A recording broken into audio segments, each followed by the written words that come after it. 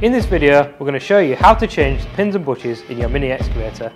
So here, we have a Kubota KX015-4 from Humberside plant, which as you can see, with less than a thousand hours, there is already quite a lot of play within this pin and bush setup. Keep watching this video because we've got the solution for you.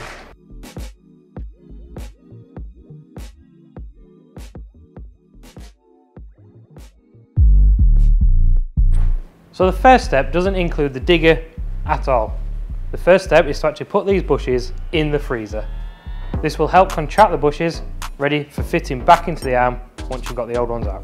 The next step is actually to remove your old pins and your old bushes. There's a few different methods to doing this, including burning them out with a gas axe or welding an attachment to them, and there's also specialist tools. However, in this video, going to show you how to do it with simple tools which most DIYers have, and that's a rotary tool and a cheap die grinder set which can be bought for less than £10 off Amazon or eBay.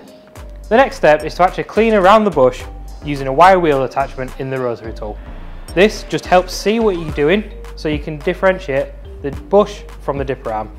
As usual, we recommend wearing safety glasses as well as other PPE as these tools can release dust and shards while using. Next, we're going to cut a notch in the bush. This helps it spring together, just giving it enough room that you can knock it out. I'm just going to use the rotary tool again with a die grinder Cut-A-Bit bought from Amazon or eBay.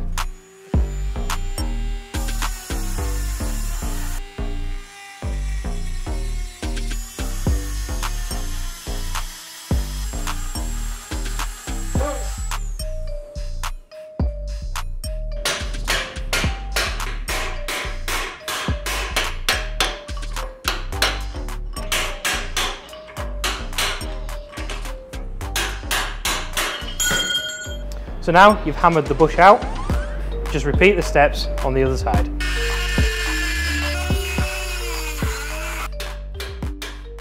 Once you've got your old bushes out, all you need to do is get your new bushes out of the freezer and hammer them straight in.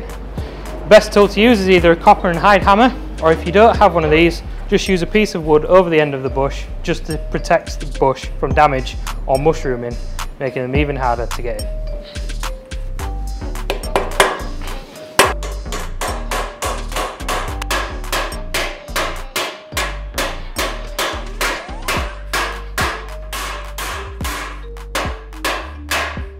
Now the bushes are fitted to the arm, all you need to do is replace your pins.